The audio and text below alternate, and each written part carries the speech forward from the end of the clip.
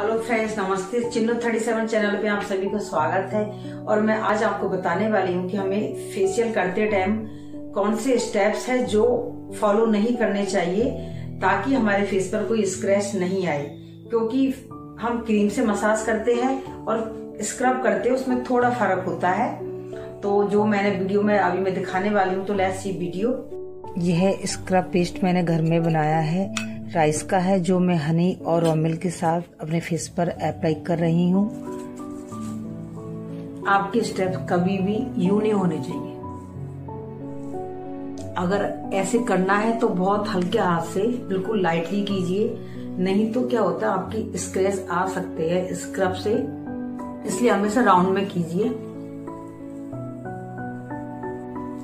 दोनों साइड से और फोरहेड पर भी करना है तो अगर आप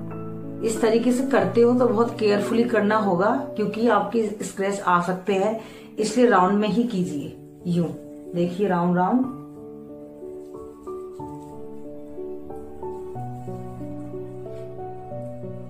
चिन पर करना है आपको तब भी आपको राउंड में ही करना है नॉच पर भी राउंड में ही करना है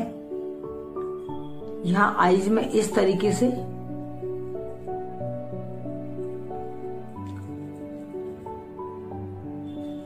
जब आपको इस तरीके से सीधा करना पड़े तो बहुत लाइट हैंड से कीजिए ताकि कोई स्क्रैच नहीं आए बाकी आप स्क्रब जितना राउंड राउंड करोगे उतना ज्यादा सही है उससे स्किन भी आपकी जल्दी निकल जाएगी जो डेड स्किन है और आपके कोई स्क्रैच भी नहीं आएगा बस ये स्क्रब करने का तरीका होता है हमें राउंड करना है ताकि कोई स्क्रैच नहीं आए Thanks for watching my video. Thank you. Bye bye. Please subscribe my channel.